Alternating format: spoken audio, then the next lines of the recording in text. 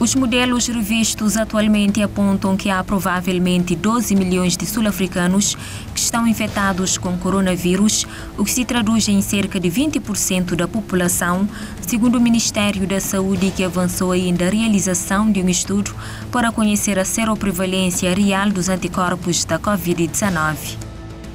Uganda e a Tanzânia assinaram um acordo internacional para a construção de um oleoduto petrolífero da África Oriental que ligará os dois países num investimento de 3,5 mil milhões de dólares. O prazo dado pela Comunidade Econômica dos Estados da África Ocidental ao Mali para a nomeação de um presidente de transição terminou, assim como o embargo ao comércio e às transações financeiras com o país.